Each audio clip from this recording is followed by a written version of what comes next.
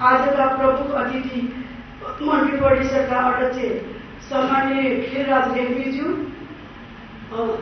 संस्कृतविद सत्यमोहन जोशीज्यू उपकुलपति ठाकुर प्रसाद मैनालीज्यू अति विशिष्ट अतिथि विशेष अतिथि तथा अतिथिज्यूहरू पाल्नुभएका आगन्तुकहरू तथा पत्रकार मित्रहरू नमस्कार सर्वप्रथम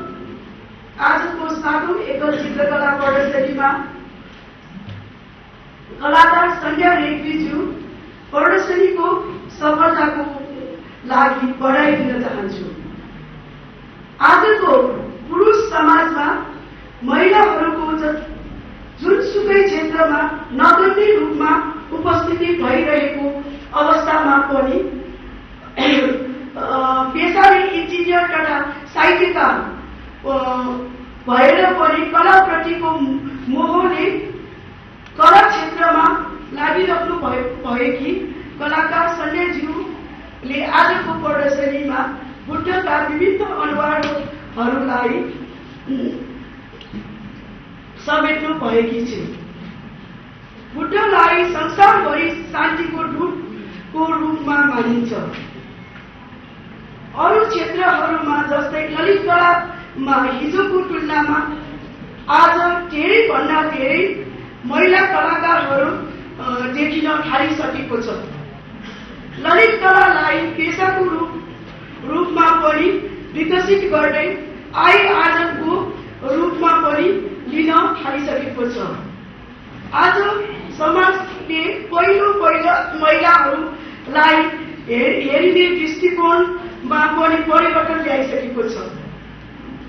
महिलाहरूको छुट्टै संस्था न नभएकोले छरिएका रहेका महिलाहरूलाई एकै ठाउँमा भेला गराएर महिला कलाकार सामु पनि समूह पनि गठन गरेका थिए।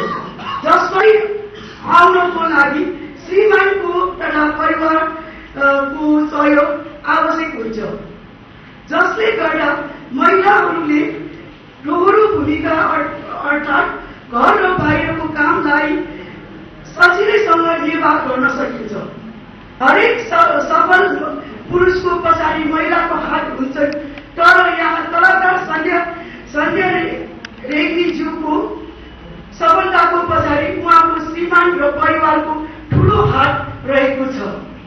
त्यसैले सन्ध्याजीको आफूलाई सफल कलाकारको रूपमा आफूलाई पहिचान गराउन सक्नु भएकी छिन्। आगामी दिनहरूमा पनि यस्तै कला प्रदर्शनी गर्नेछ भन्ने मलाई विशिष्ट लागेको छ। धन्यवाद।